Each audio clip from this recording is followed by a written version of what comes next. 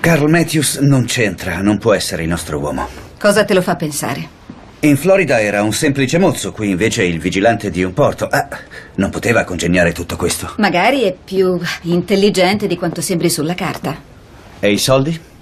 Come ha potuto permettersi l'intervento di Pam? Avrà fatto una rapina o magari spacciava droga. Io non lo so. Chissà cosa ha fatto quando è sparito dalla Florida. A proposito della Florida, vive lì, poi scompare, non viene mai arrestato.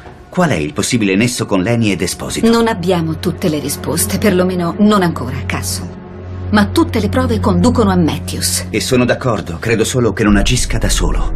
Per me ha un complice. Chi? La dottoressa Nieman? No. Qualcuno che già conosciamo.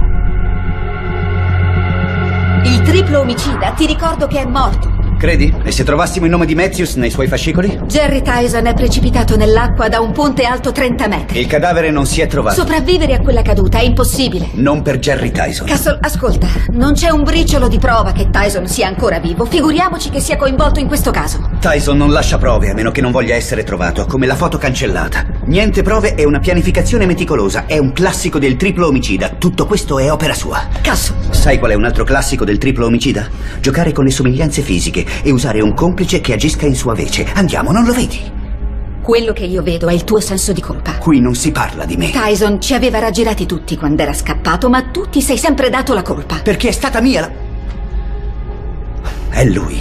È Jerry Tyson. Non inseguire un fantasma, Castle, fidati, non ne vale la pena. Detective, i fascicoli del triplo omicida sono spariti. Che vuol dire spariti? Tutti quanti? Come? Qualcuno del distretto li ha richiesti. Chi? Hai preso quei fascicoli? No, io non ho preso niente, deve esserci uno sbaglio. Oh mio Dio. Potreste dirci che sta succedendo?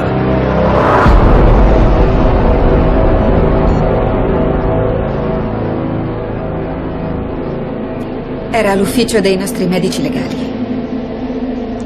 Le analisi di laboratorio, i referti e i campioni di DNA di ogni presunta vittima del triplo omicida sono stati presi da Leni. Ma non dalla vera Leni. È tornato quello psicopatico. Questo spiegherebbe i sosia. E perché Santos parlasse come me? Sparire non gli bastava, voleva far sparire anche i suoi omicidi. E non solo le prove, ma anche le informazioni sul modus operandi, la scelta delle vittime, tutti i dettagli che completano il suo profilo psicologico e che possono suggerire dove si trova. Si è ripulito la fedina.